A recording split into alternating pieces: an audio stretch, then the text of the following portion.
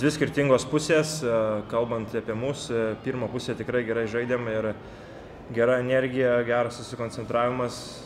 Aišku, galbūt Neptūnų tiek nesisekė pirmoji pusėje ir tas rezultatas toks išaugo didelis.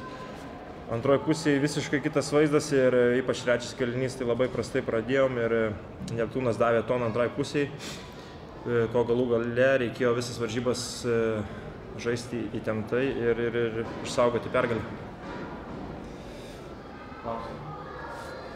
Panašiai kaip Eurolygos rungtynėse, taip ir dabar kova dėl atšokusių kamuolių keturi šansai puolime laikai. Kiek tai yra skirtumas? Jo, labai iš tikrųjų mums tai padeda ir aišku, žinoma, mes akcentuojam taip, komandos ginasi vienokias gynybas prieš mumis, kur mėgsta įsikeisti, tai dideli žmonės labai gerai tą kompensuoja.